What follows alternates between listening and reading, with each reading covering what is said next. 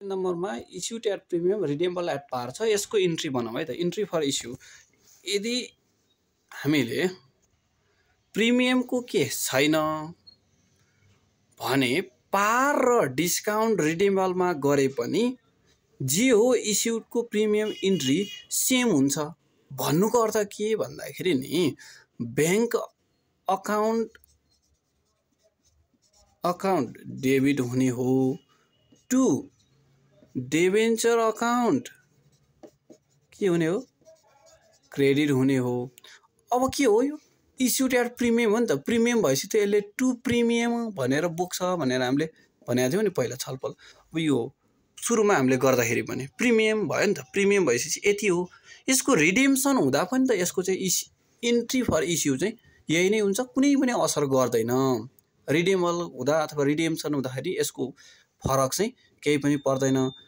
यही केस डिस्काउन्टमा पनि सेम हुन्छ तर प्रिमियम हुँदा चाहिँ रिडिम इस्यु इन्ट्री नै फरक पर्छ र रिडिम्सन त अब फरक पर्ने नै भयो।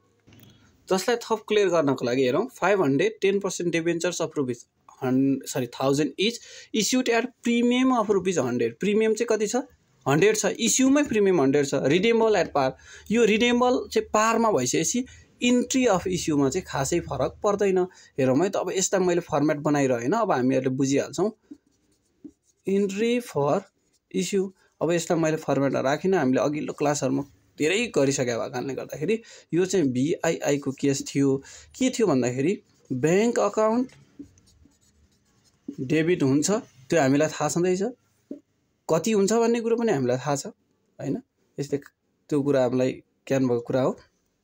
अब त्योभन्दा पहिला टु डेभेन्चर अकाउन्ट बनाऊ डेभेन्चर अकाउन्ट डेभेन्चर अकाउन्ट चाहिँ मूल भएको कारणले गर्दा हामीलाई थाहा छ फाइभ हन्ड्रेड इन्टु थाउजन्ड यो भनेको यहाँनिर फाइभ लाख रुपियाँ लेख्न सक्छौँ हामी होइन?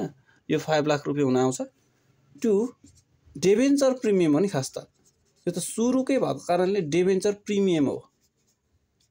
प्रिमियम डिभेन्चर प्रिमियम कति छ? फाइभ हन्ड्रेड इन्टु यो भनेको फिफ्टी थाउजन्ड भयो। अब ब्याङ्कमा चाहिँ के हुने भयो भन्दाखेरि सिधै थपिने भयो अथवा अमाउन्ट बढ्ने भयो। जसलाई के गर्न सक्यो भन्दाखेरि पाँच सय इन्टु यो दुइटा जोडिएर एघार सय हुन्छ।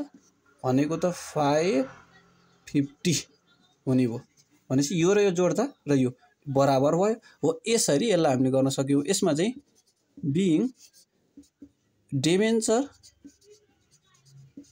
Debenture issued at premium and redemption अथवा रिडेम्सन भन्दा पनि रिडिमेबलै भनौँ। किनभने यो इस्युको केस हो नि त। इन्ट्री फर इस्यु हो। रिडिमेबल एट पार भनेर लेखौँ। है? यसरी गरेपछि यसको फर्स्ट पार्ट त सक्यो नि त इन्ट्री फर इस्यु तर यसैको मैले यहाँनिर थप गर्ने यो चाहिँ इन्ट्री फर रिडेम्सन गर्नु पऱ्यो भने रिडेम्सन गर्नु पऱ्यो भने यसको रिडेम्सनको केस त हामीलाई थाहा छ नि त यो के हुन्छ रिडेम्सन भन्ने कुरो त हामीले बुझ्नु पऱ्यो यो त होइन यस्ता रिडेम्सनै गर्ने हो भने चाहिँ इन्ट्री फर रिडेम्सन हुने हो भने चाहिँ यसको के हुन्थ्यो भन्दाखेरि हामीले सुरुमा याद गरेका थियौँ कि यो भनेको त पार हो। पार हो नि त। रिडेमेबल एट पार हो भनेपछि रिडेम्सन इन्ट्री पनि त पारकै गर्नु पऱ्यो भनेपछि त पारमा के हुन्थ्यो रिडेम्सनको इस्यु गर्दाखेरि ब्याङ्क अकाउन्ट टु डेभेन्चर हुन्छ भने उल्टो के हुन्थ्यो? Debenture account account debit to के हुन्थ्यो? ब्याङ्क अकाउन्ट यति हो। यसमा हामीले भ्यालु ए पाँच लाख रुपियाँ हालिदियो भने यसको पनि सक्यो। यसरी गर्न सकिन्छ।